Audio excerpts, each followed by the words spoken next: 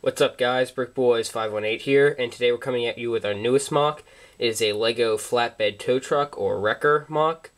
It is based off an Isuzu N-Series truck, so you'll notice in the front the design is a bit different than our traditional models and incorporates some new building techniques. So to start off with the actual design, move this little guy aside, the front of the truck,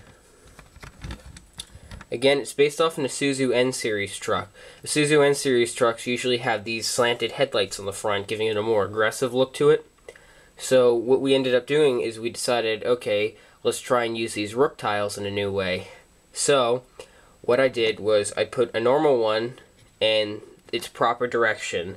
And then what I actually did was I took a one by one brick, put a Technic connector piece that connects to normal tiles, and I actually put a cheese or a roof tile in it so it's upside down, giving it this sort of slanted appearance to it. And it seems to be pretty decent design. You have a grill using SNOT techniques. It actually sticks out, it's built further into the truck. So you have this incorporating this black, orange, black design, but with a gray grill. Also on the front, you have these mirrors, side view mirrors, very large and can adjust the direction. It features working doors on both sides of the truck and a large enough cab for a driver to easily fit inside. And we're going to use the city truck driver. Now, this design incorporates many bricks from the LEGO City truck, tow truck that you got. Um, the traditional LEGO City tow truck uses a simple winch system to haul, haul up another vehicle. This is a flatbed design. Also, on the cab of the truck, it has orange emergency lights on the top, and that goes around on both sides. Now, I do realize there's a blank spot here. I could not find another 1x2 orange tile. I ran out of orange bricks in the making. Now that the front of the truck is over, you can go on to the sides. Now, if you can see, this side of the truck features many kit commands and control details. Now, it has several levers that can lift Oh, that is a tool. There's also a tool rack that's on the inside that you can fit. This one has a screwdriver and a hammer in.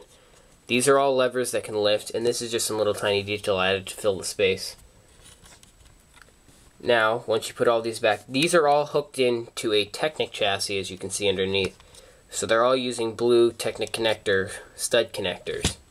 Now, if you go on to the other side, you have a fuel tank basic cap here, and it runs the full length of the truck, and it's held in, again, using Technic pieces. It creates a nice, large fuel detail that I think came out rather good. On the very back of the truck, you have red tail lights and white reverse lights. You have some little details on the sides to extend the width of the, the rear of the truck. And you also have this little sort of bar here. The winch, or the hook, on the bed of the truck can actually slide down and clip into there to hold any loads in. Now, the one flaw with the bed of the truck, it is flat, it is tiles all around, is that vehicles tend to slide around, so the hook comes in handy to hold them in. You also have this bar on the back to prevent things from going into the rear window of the truck. Now, the defining part of this design is the fact that this tow truck actually functions. So, the bed lifts all the way back, like so uses a Technic system in here which clips into the full-on chassis of the truck. Now, it slides back in, and it can be a little temperamental on the bottom since I had to allow room for the stuff to move around, so it'll sometimes bump up against these. It can fit any 4-wide car, like this coupe here, or any 6-wide car. Any 6-wide vehicle works. You see, the bed and the truck itself are of different width. The front of the truck is a 6 wide. The back of the truck is an 8 wide on the bed. Now, we're trying to incorporate this new design feature where you have 6 wide smaller trucks and cars and 8 wide tractor trailers and larger vehicles. This is sort of a hybrid of both, and some tow trucks consist of smaller truck bodies and larger rears. Now, the bed itself has these little L bricks on here. I don't know the name of them to be exact which gives it a wider bed, so you can fit probably a 7 wide.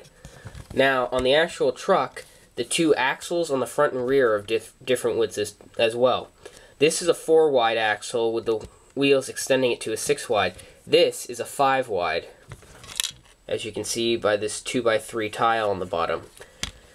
This is hooked in using special bricks and is a custom axle. It's the first time I've ever done a 5 wide, and it tends to work really well. So as you can see, this is the Lego Wrecker.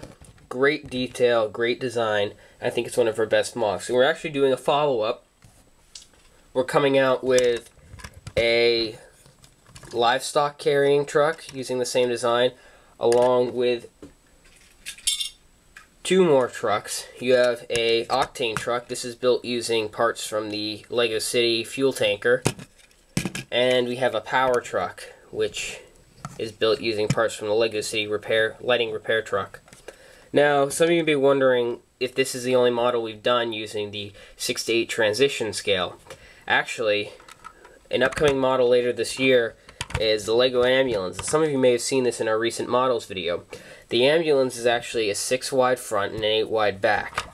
Now, it's been modified so that it can fit, but it's far from done. We have to work on the back doors. This is just a fill-in door, and there's a ton of details to go on the inside.